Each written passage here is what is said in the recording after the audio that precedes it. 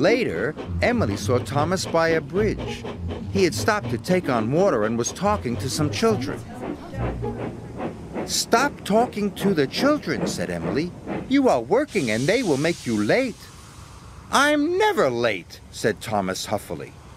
There's always a first time, said Emily cheerfully, and she puffed away. Thomas was cross.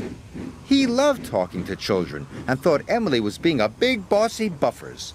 Annie and Clarabel agreed. I am never going to listen to Emily ever, ever again, said Thomas. So there.